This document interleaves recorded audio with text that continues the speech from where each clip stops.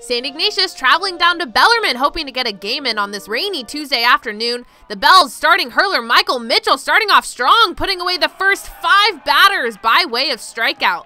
But top of the third, and SI is threatening with runners on second and third. Jack Thomson grounds it to short and scores teammate Cole Constant. SI up 1 0 after three.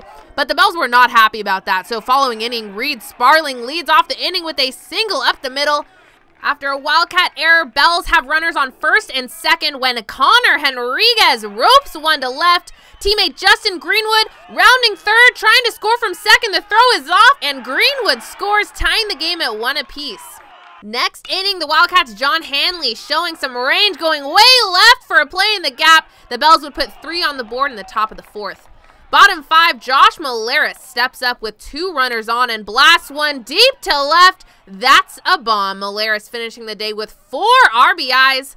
And Bellarmine would add another run in the bottom of the sixth with runners on first and second. Matthew Kao grabs himself an RBI with a single to center, scoring Andres Rebollar.